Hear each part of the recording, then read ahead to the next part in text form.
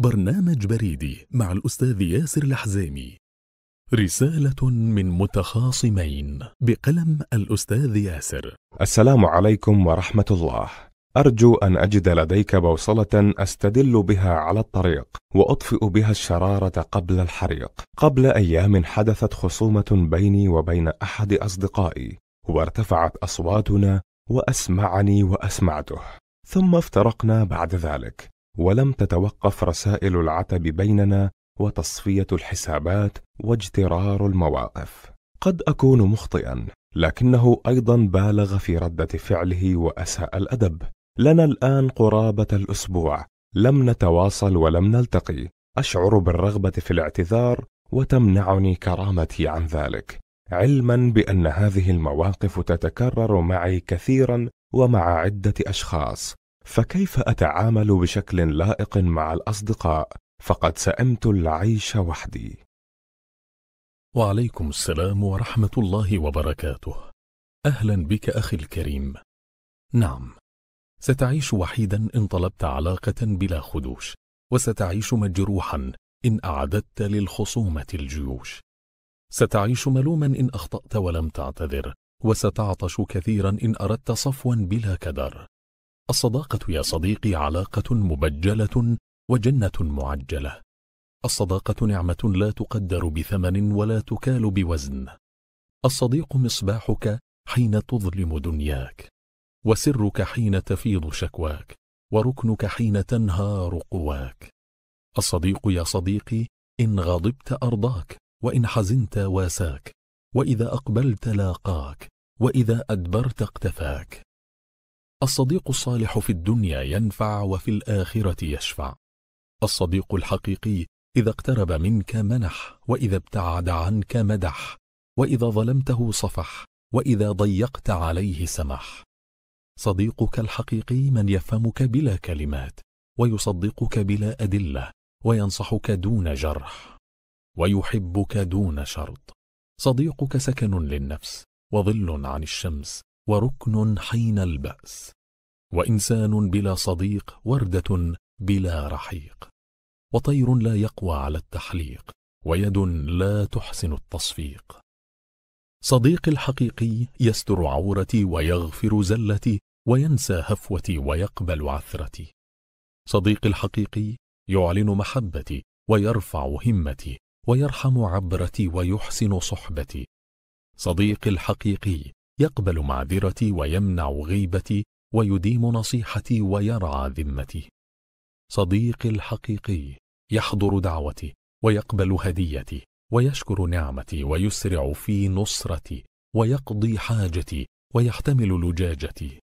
صديقي الحقيقي للحق يدفعني وعن الباطل يمنعني وفي الخير يحفزني وعن الشر يحجزني وفي الفضائل قدوتي. وفي النوائب سترتي إذا خاصم لا يفجر وإن غضب لا يهجر وإن أخطأ لا ينكر. يسكن في قلبي وإن لم يسكن مدينتي. يعيش هناك وأعيش هنا ولكننا معا. روح واحدة تعيش في جسدين. أيها السائل المخاصم ضع شيئا من قلبك على عقلك ليلين. وشيئا من عقلك على قلبك ليستقيم واسمعني بأذن الحكمة. إذا أخطأ صاحبك فلا تضعه في القائمة السوداء ولكن ضعه في قائمة البشر الأسوياء. فالناس ليسوا ملائكة كرماء أو شياطين أشقياء. سامح أخاك إذا خلط منه الإصابة والغلط. وتجافى عن تعنيفه إن زاغ يوما أو سقط. واعلم بأنك إن طلبت مهذبا رمت الشطط. من الذي ما ساء قط ومن له الحسنى فقط. ذاك النبي محمد عليه جبريل هبط. أيها الصديق العاقل عندما تصفح وتعفو فأنت بلا شك من يعلو. قال عليه الصلاة والسلام وما زاد الله عبدا بعفو إلا عزة أيها المخاصم الهاجر قال نبينا عليه الصلاة والسلام لا يحل لرجل أن يهجر أخاه المسلم فوق ثلاث يلتقيان فيعرض هذا ويعرض هذا وخيرهما الذي يبدأ بالسلام. كن أنت الأول تكن عند ربك الأفضل. اختصم الحسن بن فاطمة بنت رسول الله صلى الله عليه وسلم مع أخيه لأبيه محمد بن خولة الحنفية رضي الله عنهم أجمعين فانصرفا متغاضبين. فلما وصل محمد إلى منزله أخذ رقعة وكتب فيها. بسم الله الرحمن الرحيم. من محمد بن علي بن أبي طالب إلى أخيه الحسين بن علي بن أبي طالب. أما بعد فإن لك شرفا لا أبلغه وفضلا لا أدركه. فإذا قرأت رقعتي هذه فالبس رداءك ونعليك وسر إلي لترضيني فإن جدك يقول وخيرهما الذي يبدأ بالسلام وأنى لابن الحنفية أن يكون خيرا من ابن الزهراء. فلما قرأ الحسن الرسالة قبلها وذهب إليه واعتنقه. أيها الصديق الصدوق قال رسول الله صلى الله عليه وسلم تفتح أبواب الجنة يوم الاثنين ويوم الخميس فيغفر لكل عبد مسلم لا يشرك بالله شيئا. إلا رجل كانت بينه وبين أخيه شحناء. فيقال أنظروا هذين حتى يصطلحا. ما أكرم الله وما أبخلنا على أنفسنا. ما أرحم الله وما أقسانا على أنفسنا.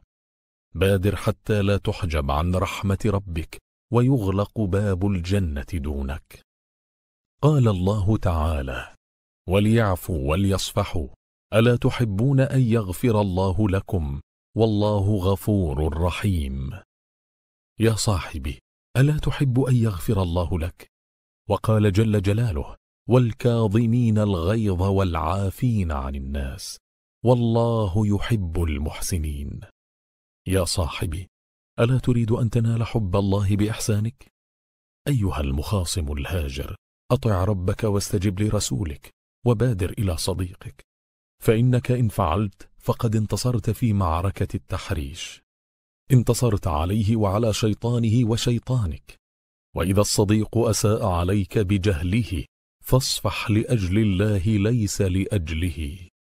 أيها الصديق العاقل في عواصف العواطف تتحول الكلمات إلى لكمات والحروف إلى حتوف. والألفاظ إلى أكفان لعلاقة كانت تنبض بالحب. وفي عالم الأخلاق تهدأ العواصف وتتبدل العواطف فتتحول البغضاء إلى صفاء وينقلب الأعداء إلى أصدقاء. ادفع بالتي هي أحسن فإذا الذي بينك وبينه عداوة كأنه ولي حميم. لا تعامله بالمثل ولكن عامله بالعقل فإن تجاوز معك الأدب فلا تجاره ولا تباره فالفائز في مباراة السباب والشتيمة هو الأكثر خسارة. علمه الأدب ولا تتعلم منه قلة الأدب. لا تقابل الإساءة بالإساءة ولا تطفئ النار بالنار. ولا تعالج الجروح وهي ملتهبة. فإذا أرعد فأمطر وإذا أزبد فاصبر وإذا هدد فاغفر. ومثلما تترك بعض الأطعمة تبرد قليلا لتتمكن من أكلها اترك بعض الخلافات تهدأ قليلا ليسهل عليك حلها. لا تطاوع الغموم ولا تجتر الهموم ولا ترد الإساءة بالهجوم. ابذل السلام وتخلق بالإسلام ولا تكثر الملام وتجنب فحش الكلام. اجعل الصفح شعارك والحق دليلك والرضا قرينك. فإن أدخلك الغضب في دوامة النزاع فلا يمنعنك الكبر من الخروج منها. أيها الصديق الهاجر يقول الله تبارك وتعالى وإن الساعة لآتية فاصفح الصفح الجميل. هذا قول ربك فما قول قلبك؟ سامح وصافح فالدنيا دار مرور وعبور. والمنشغلون بالآخرة لا وقت لديهم للعداوات والكراهية وتوافه الأمور. وردد في داخلك ربنا لا تجعل في قلوبنا غلا للذين آمنوا. ربنا إنك رؤوف رحيم. عندما يتشاجر الأصدقاء فإن من ينسحب أولا هو الأرجح عقلا الأضعف موقفا. سماحك يا صديق حناء تستقيم به الأشياء واعتذارك قوة تكسر الاستعلاء. وإحسانك لمن أساء إليك موعظة أخلاقية ودرس في الإخاء. وأنت عندما تصفح وتسامح لا تغير الماضي بل تغير المستقبل. فافتح بالتسامح صفحة العلاقة من جديد وامسح بالمحبة كل ألفاظ الوعيد. أيها الهاجر المخاصم لو خلى السجن من المساجين لأصبح السجان حرا فأطلق سجناء صدرك وانعم بحرية قلبك. سامح واصفح فإن الحقد في القلب سم قاتل إن أبقيته قتلك وإن أخرجته قتل غيرك. أيها الصديق العاقل في هذه الدنيا سيقال عنك ما ليس فيك وسيقال لك ما لا تحب وسيقال إنك فعلت ما لم تفعل. ولذلك خذ العفو وأمر بالعرف وأعرض عن الجاهلين. والناس حين تقذف الحجر في البئر تنتظر صوت ارتطامه بالقاع. لذا من يقذفك بحجر الإساءة تجاهله حتى يتيقن أن بئر أخلاقك لا قاع لها. قال رجل لأبي بكر رضي الله عنه والله لأسبنك سبا يدخل معك في قبرك. فقال أبو بكر بل يدخل معك لا معي. هكذا الكبار لا تستفزهم الكلمات. كان عمر بن عبد العزيز يمشي بالليل في المسجد فانطفأ السراج فاصطدمت قدمه برجل نائم فصاح الرجل. أحمار أنت؟ قال لا أنا عمر. فانتهت المعركة قبل أن تبدأ. وقال رجل لعمر بن عبيد إني لأرحمك مما يقول الناس فيك. فقال له أفسمعتني أقول فيهم شيئا؟ قال لا قال إياهم فارحم. أجاب باختصار ونجح في الاختبار. وشتم رجل الإمام الشعبي فرد عليه قائلا إن كنت صادقا فغفر الله لي وإن كنت كاذبا فغفر الله لك. فكانت الشتيمة موعظة أليمة. كان كفار قريش يسمون النبي عليه السلام مذممة فقال النبي عليه الصلاة والسلام ألا تعجبون كيف يصرف الله عني شتم قريش ولعنهم؟ يشتمون مذممة ويلعنون مذممة وأنا محمد. هكذا الكبار يتصرفون بانسجام ويردون باحترام. إن الكريم إذا تمكن من أذى جاءته أخلاق الكرام فأقلعه وترى اللئيم إذا تمكن من أذى يطغى فلا يبقي لصلح موضعا الناس يا صديقي كمعادن الذهب والفضة والنحاس والحديد وعندما يتعرض معدن الرجل لنار الخصومة أو حرارة الخلاف تظهر حقيقته. فأظهر معدنك الحقيقي ليعلم الناس أنك من ذهب. المواقف يا صديقي لا تتحكم في استجاباتنا ولكنها تختبرها. فالبرتقالة لن يخرج منها سوى عصير البرتقال مهما تكرر عصرها واشتد الضغط عليها.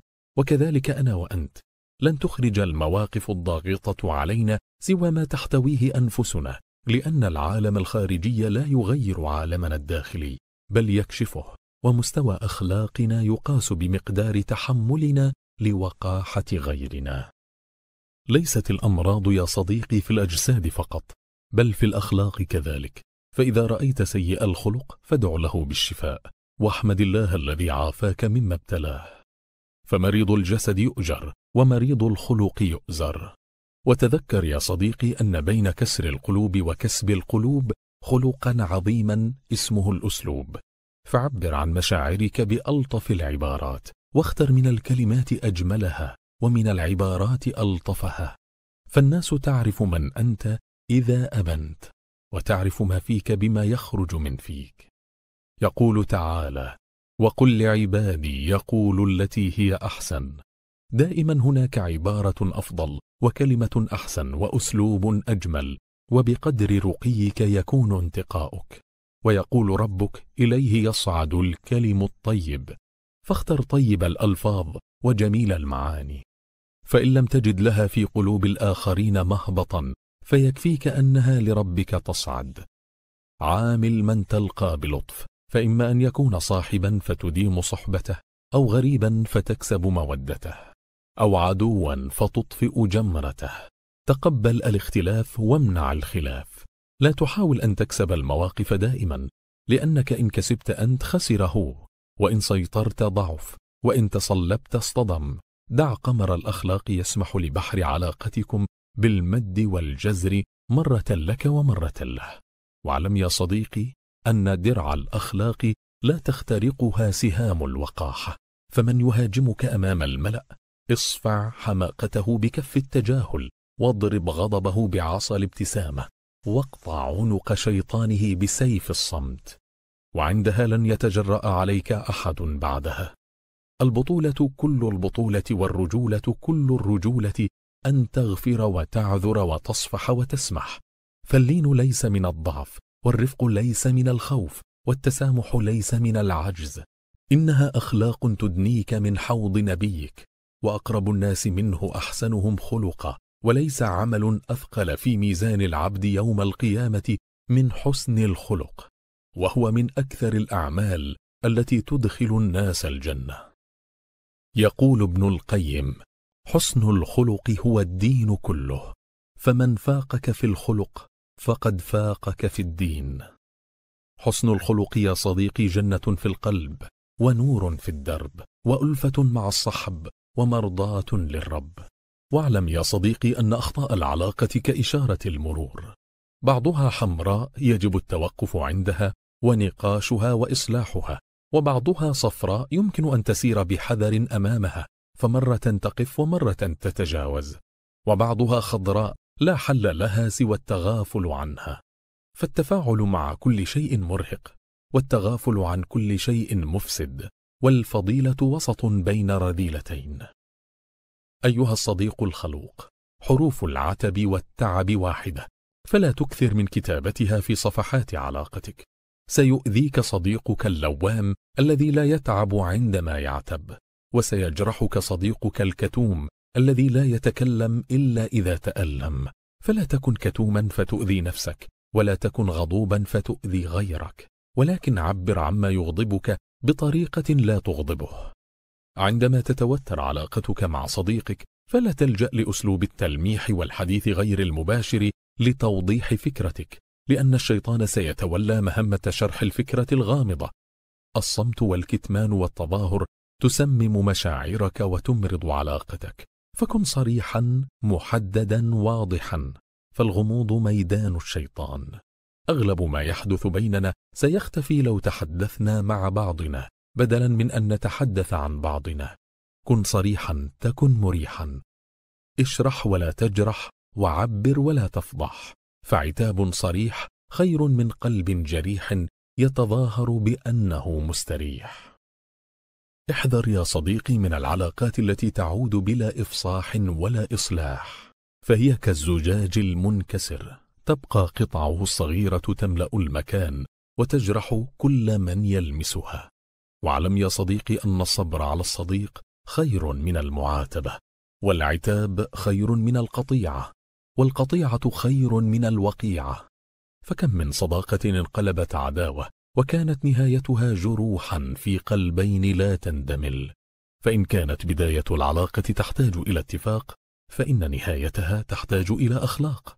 فإن عزمت على الرحيل ولا بد فارحل بصمت وغادر حياته بابتسامة.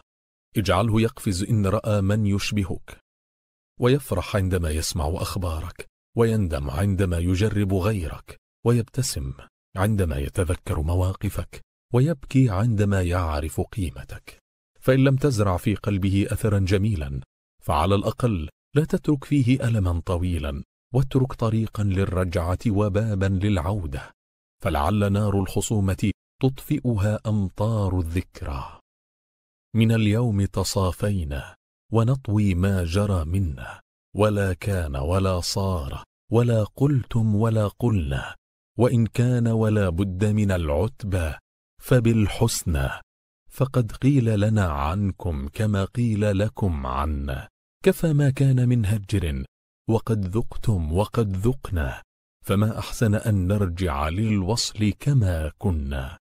يجب ألا ننسى الفضل بيننا وأن نكون أقوياء ببعضنا لا على بعضنا.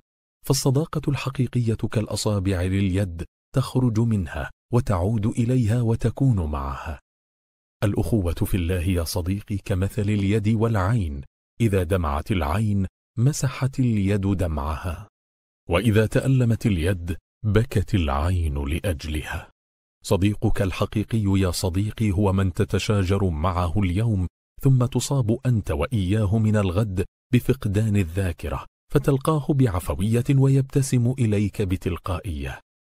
صديقك المخلص عند جرحه يداويك وأثناء ضعفه يقويك وفي ذروة حاجته يعطيك وفي قمة ألمه يبتسم لك فلا تفرط فيه بسهولة. فمن السهل أن تجد أصدقاء يجلسون معك ولكن من الصعب أن تجد أصدقاء يقفون معك.